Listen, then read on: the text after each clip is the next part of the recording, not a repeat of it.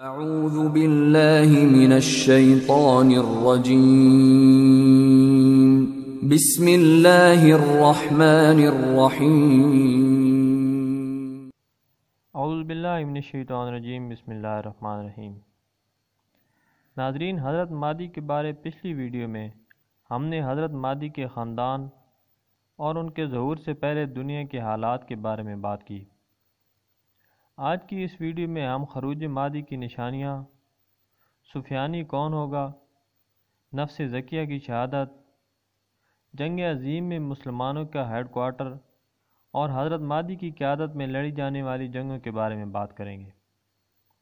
Video में आगे बढ़ने से पहले अगर आप चैनल पर नए हैं तो चैनल को सब्सक्राइब कर लें और साथ मौजूद घंटी के बटन को दबा दें, ताकि हर नई आने वाली वीडियो आप तक पहुँचती रहे। नाजरीन हज़रत मादी के जहूर के साल ज़िकात के महीने में कबाइल के दरमियान कशमकश और माहा शिकनी होगी। हाजियों को लूटा जाएगा और मीना में जंग होगी। बहुत ज़्यादा कत्लेआम और खून खराबा होगा।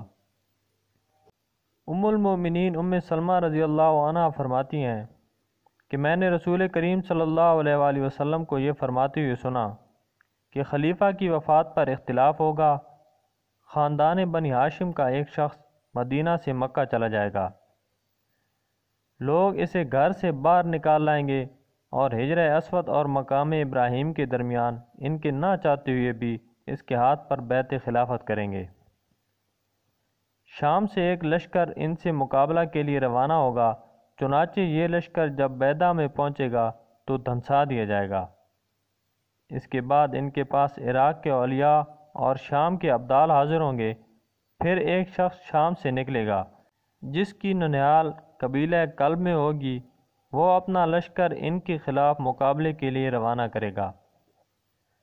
अल्लाह ताला इस लश्कर को शिकस्त देगा, जिसके नतीजे में इन पर आफत आएगी। यही कल्ब की जंग है।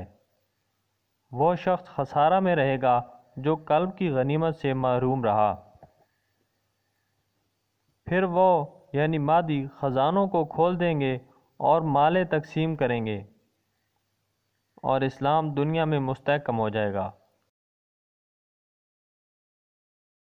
नाजरीन, कुफ़ार हज़रत मादी के इंतज़ार में होंगे और अपने जासूसों के ज़रिए हरम शरीफ की ख़बरें रखते होंगे।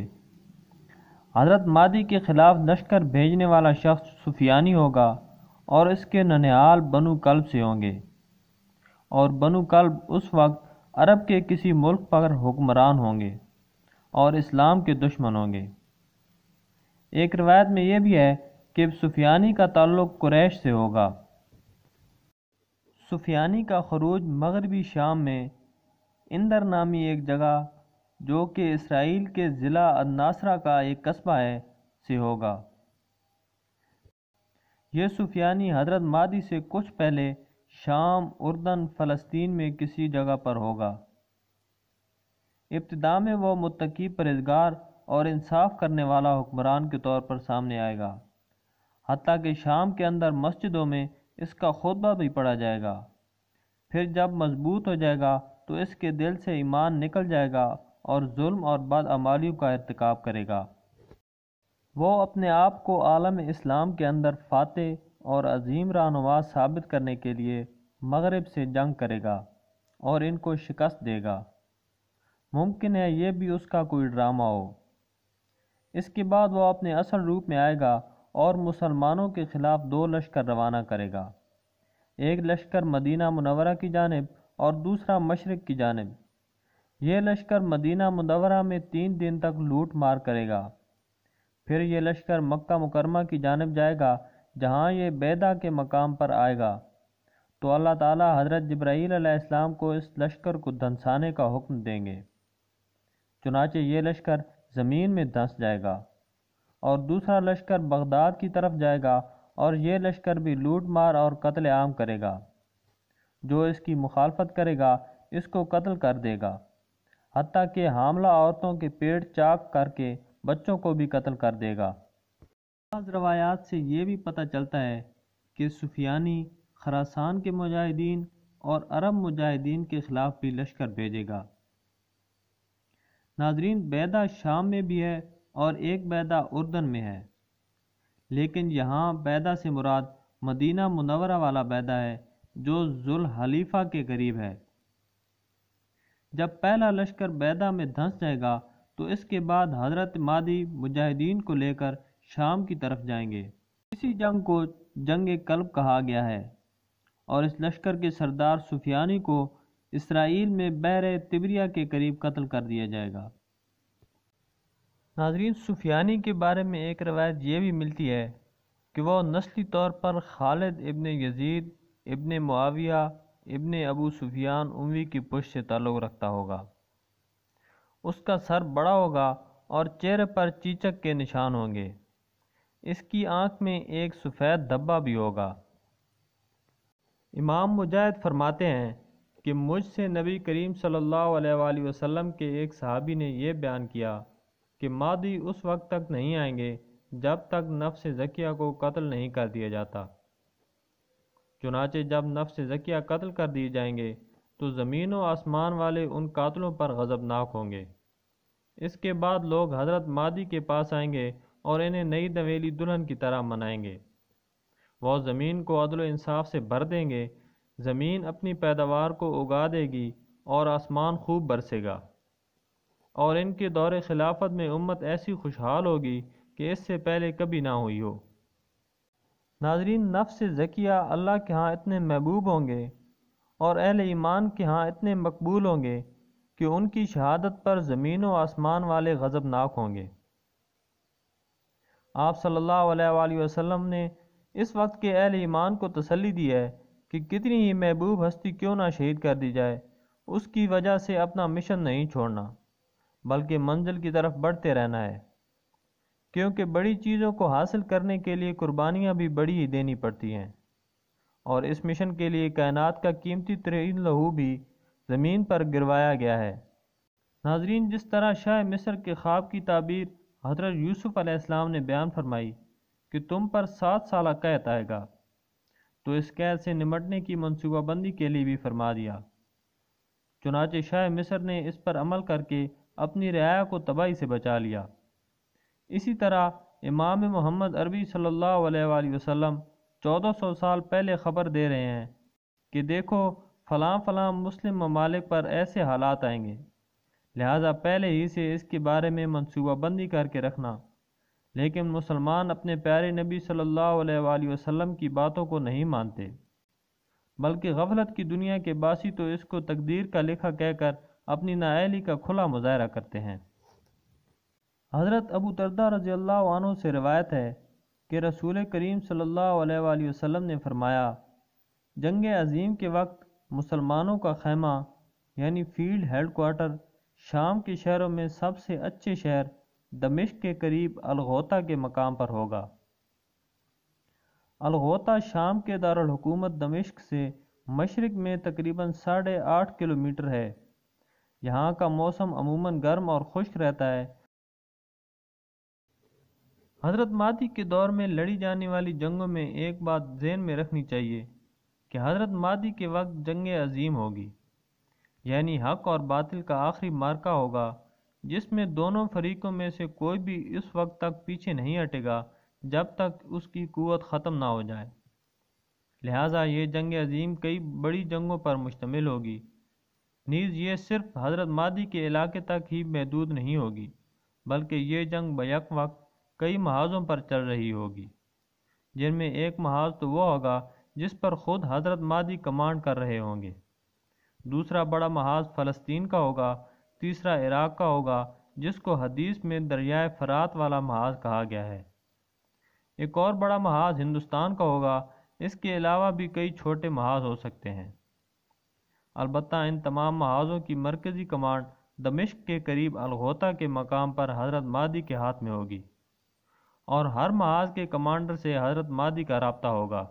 एक रवायत के मुताबिक अहल रूम और मुसलमान आपस में एक माहे के तहत सुलह करेंगे और मिलकर अपने दुश्मन से लड़ेंगे, जिसमें वह फतेहयाब होंगे।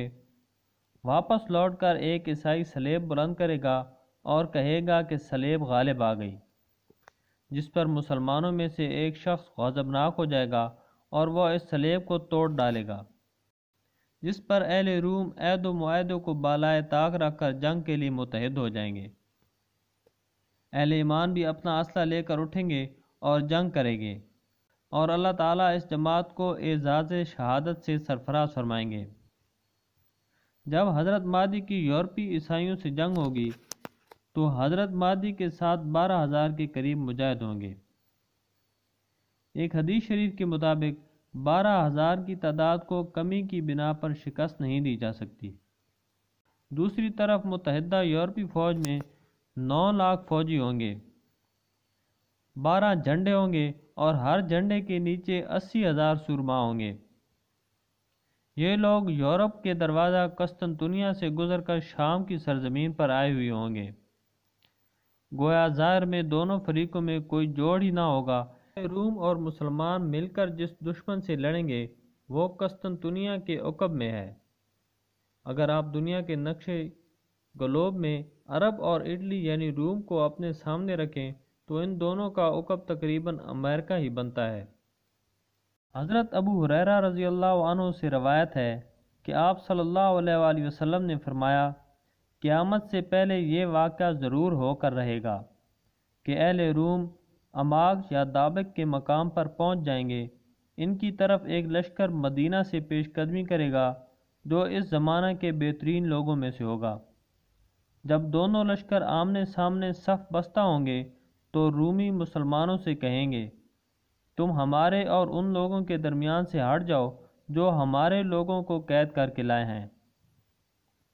हम इन्हीं से जंग करेंगे। मुसलमान कहेंगे, नहीं, अल्लाह की कसम, हम हरगिज़ तुम्हारे और अपने भाइयों के दरमियान से नहीं हटेंगे। इस पर तुम इनसे जंग करोगे। अब एक तिहाई मुसलमान तो भाग खड़े होंगे। जिनकी तौबा अल्लाह कभी कबूल ना करेगा। और एक तिहाई मुसलमान शहीद हो जाएँगे, जो अल्लाह के नज़दीक अफजल शुहदा होंगे।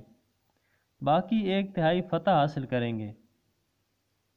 ये आइंदा हर किस्म के फितने से महफूज हो जाएँगे।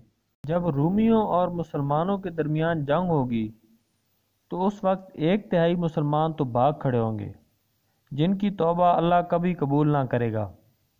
और एक तिहाई मुसलमान शहीद हो जाएँगे, जो अल्लाह के नज़दीक अफजल शुहदा होंगे। बाकी एक तिहाई फ़तह हासिल करेंगे।